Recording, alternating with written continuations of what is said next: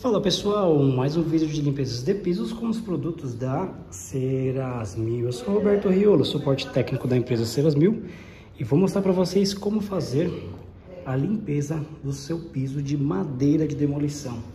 Pessoal, meu cliente acabou de adquirir esse apartamento e como vocês podem ver, tá bem suja a situação aqui, né? O que que acontece? Teve obras, pintura, é, gesso, enfim, ficou todo esbranquiçado, certo? O que, que eu faço aqui, pessoal, para fazer a limpeza e o tratamento desse piso? Gente, removedor de ceras líquidas da Ceras Mil, tá? Está nesse pulverizador semi-profissional. Aqui eu utilizo ele diluído, faço a limpeza desse piso, aguardo a secagem e depois aplico a nossa cera de carnaúba da Ceras Mil. Bom, para vocês entenderem, eu faço a diluição de um para um, um do produto, um litro de água. E eu já vou mostrar para vocês como é que fica esse resultado. Dá uma olhadinha nessa madeira. Agora olhem aqui, já está bem mais claro. É claro, aqui está secando, mas olha a situação aqui dos quartos. Olha isso, pessoal, que bacana. Gente, só falando para vocês, essa madeira existe um verniz, tá? Ou até mesmo já existiu um verniz um tempo atrás. E o que acontece? Naturalmente, as partes onde não tem mais verniz são as partes que mais encardam. Podem ver, certo? E aí, o que, que esse nosso produto vai fazer?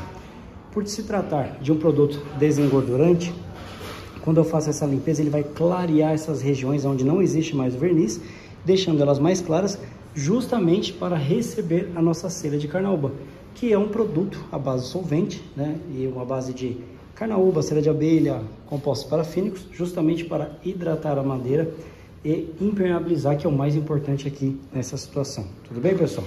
Vamos lá, vou mostrar para vocês como que eu faço esse processo. Pessoal, para que o vídeo não fique tão grande, eu vou fazer uma pequena parte, tá?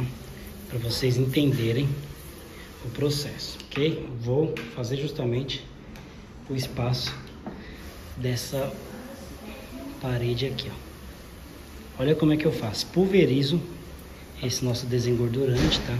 Que na verdade, pessoal, é um removedor de ceras líquidas, tudo bem? E o que acontece? Esse produto pulverizando aqui em cima, as partes que tiverem o verniz ele não vai agredir porque eu estou utilizando ele diluído, tá? E as partes aonde não tiverem mais o verniz, como vocês estão vendo aqui, ó, são essas partes que estão ficando mais escuras. Essas partes, sim, o produto vai acabar penetrando na madeira, é onde vai fazer a limpeza. Ver? E aí, o que, que eu faço? Como eu joguei o produto, obviamente ele já agiu com a gordura, tá? Pulveriza a água neste piso. Correto. Videozinho bem curto, pessoal, pra vocês entenderem mesmo como é o processo. Vou utilizar a enceradeira industrial para fazer a limpeza e escovar esse piso todo, mas você também pode utilizar a fibra de LT, que é aquela esponjinha verde, né? De nylon, a mesma utilizada aí na, naquela parte da, da louça, certo? O pessoal utiliza, é um abrasivo, tá? E uma espátula para pegar algumas pintinhas que tiverem. Para vocês terem uma ideia, ver, ó? Não vou mostrar com a enceradeira agora, vou mostrar somente com manualmente, né? Para vocês entenderem melhor. Claro que com a enceradeira torna-se muito mais prático certo? Pessoal, olha que bacana.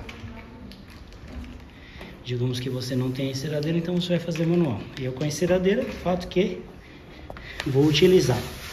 Mesmo assim, gente, quando eu passo a enceradeira em todo esse piso, essas partes acabam não pegando. Então eu sempre tenho que entrar com a esponjinha manualmente para pegar essas partes aqui e até mesmo os cantinhos, né, pessoal, para caprichar bem na limpeza. Olha aquela tábua ali como ela tá levantada ali, a enceradeira não vai pegar de forma alguma, tá vendo? Tudo empenada? Claro, né, madeira de demolição. Faço tudo manualmente. Feito isso, esfreguei, vou pulverizar novamente água, certo? Vou pegar um rodo, simples assim, e vou puxar essa água. Olha isso. Vou puxar essa água e aí, é claro, né? Vai vir aquele caldinho escuro, aquela lama. Feito isso, eu vou aguardar a secagem do piso. E aí sim, faço a aplicação da nossa cera de carnaúba e utilizo a enceradeira para lustrar, certo? Vamos lá, não estou com a cera aqui, pessoal, guardando a secagem do piso. Quando eu fizer todo o piso, eu vou pegar a cera e mostro para vocês como é que fica. Vamos lá? Gente, eu esqueci de um ponto bem importante, né? Produto, água e enceradeira industrial ou o abrasivo aqui, tá? A buchinha de nylon. Feito isso, esfreguei. Vou pegar o pano de microfibra com um balde de água fria, tá? Não precisa ser quente no momento. Pego esse pano de microfibra e vou limpando lâminas por lâminas, retirando todo o excesso. Depois tem uma dica muito bacana para finalizar a limpeza e inclusive ele secar mais rápido, pessoal. Ebulidor, tá? Uma resistência aqui, como vocês estão vendo aqui, ligo na tomada e esquento a água. Com essa água quente aqui, vai me ajudar a desengordurar muito melhor esse piso, mil vezes mais, e também vai me ajudar na secagem. Então, pessoal, é bem importante esse processo, tá? Finalizando com água quente. O pano de microfibra é muito bom porque ele desliza na madeira, então ele não fica enroscando e até mesmo não deixa os pelinhos, tá? Então, dica bem importante. E os pulverizadores é fato para você não jogar muito produto nesse piso, não cair muito nas frestas, enfim, você também economizar o produto e aplicar de uma forma mais uniforme, certo? Essas são as dicas. Agora vamos lá. Olha lá, pessoal.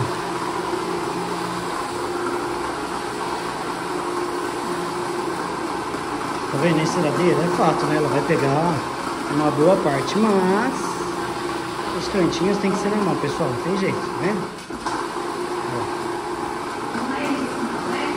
E é o que acontece, conforme eu vou passando a enceradeira, tem que sempre jogando água, porque senão ele vai secar. Então, nesse caso, eu sempre fecho portas e janelas justamente para isso, gente.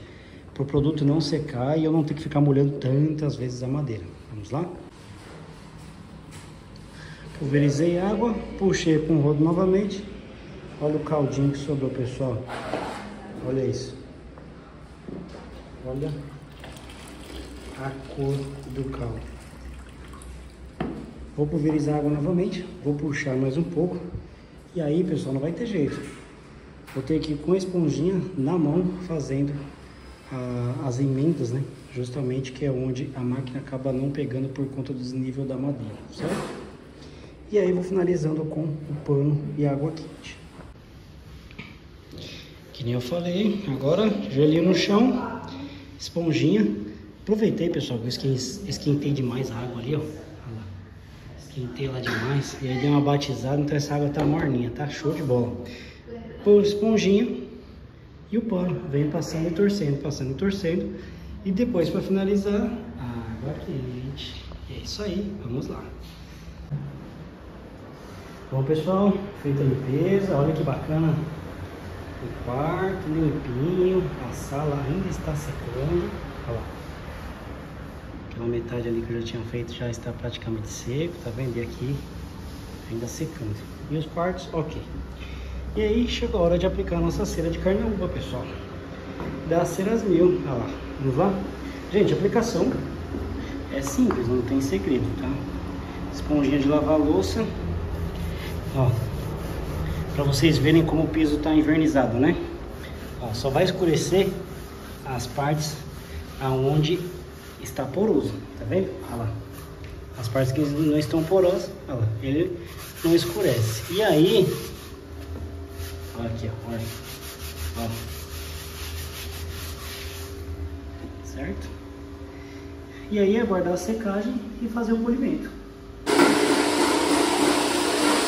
E aí, pessoal, lustrando o piso agora. Gente, olha com quem que eu tô lustrando. Ih, a máquina tá desligando vê, ó.